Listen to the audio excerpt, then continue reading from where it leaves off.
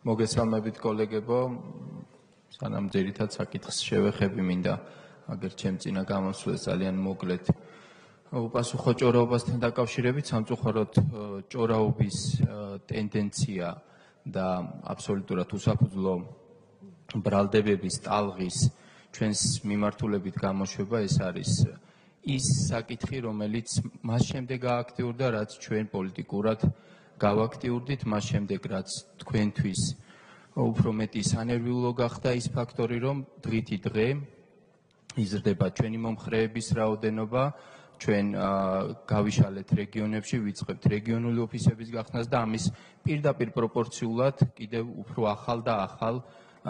უსაფუძვლო მოგონილ ბრალდებებს ვისმენთ ჩვენი გუნდის მიმართ რომელსაც რა თქმა უნდა ქართულ საზოგადოებამ აქვს პასუხი ამ ყველაფერზე, რომ ეს არის უბრალოდ ტალახის როლის პროცესი და ამ ყველაფერზე ჩვენ უპასუხებთ საქმით და პრინციპში ამაზე პასუხიც არის ის შეხვედრები, რომელსაც დღეს ჩვენი გუნდის ლიდერი გიორგი გახარია მართავს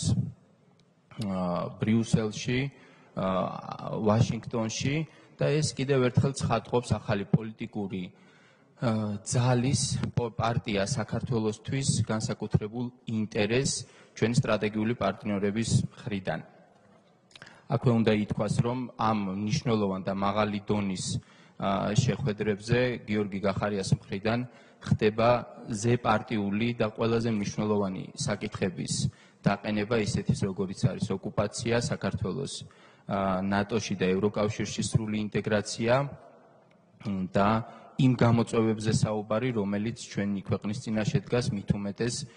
რეგიონში არსებული დაძაბული ვითარების პარალელურად. ამის გარდა მე მინდა შევეხო ერთ მნიშვნელოვან მიმართულებას ჩვენ პრინციპში გარკვეული პერიოდის წინ თქვით რომ აქტიურად ვიქნებოდით ორიენტირებული კონკრეტულ საკანონმდებლო ინიციატივებზე, კონკრეტული იდეების გაჟღერებაზე სხვადასხვა მიმართულებით. თქვენ მოგეხსენებათ და საზოგადოებისთვის ცნობილი გახდა რომ ჩვენ წარვადგინეთ პროგრამა ჩვენი ხედვა მათ შორის ერთ-ერთი მიმართულება არის ახალი რეგიონული პოლიტიკა. რეგიონული პოლიტიკა იმ თვალსაზრისით რომ მივიღოთ უფრო მეტად დეცენტრალიზებული თვითმმართველობა უფრო მეტი უფლებამოსილების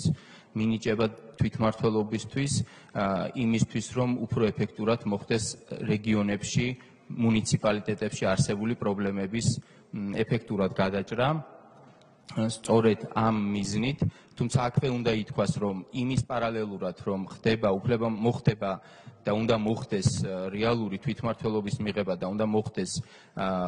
კონკრეტული უფლებამოსილებების მინიჭება, უფრო მეტი ბიუჯეტის განკარგვის საშუალება უნდა ქონდეთ მუნიციპალიტეტებს, ამის პარალელურად, რა თქმა უნდა, სახელმწიფომ უნდა იზრუნოს იმ რისკების მინიმალიზაციისთვის რომელიც თან ახლავს აღნიშნულ პროცესს გულისხმობ